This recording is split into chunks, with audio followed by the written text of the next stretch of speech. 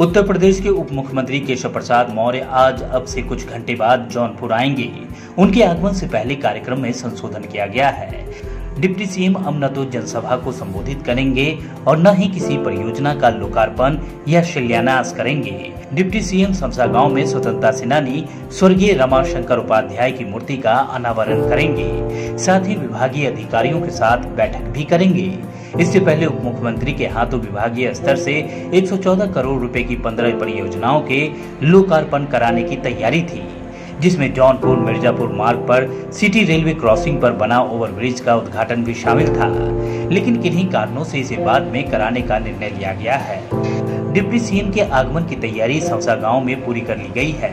वे सुबह ग्यारह बजकर चालीस मिनट पर हेलीकॉप्टर से यहाँ पहुँचेंगे। गाँव में हाईवे के किनारे हेलीपैड बनकर तैयार हो गया है।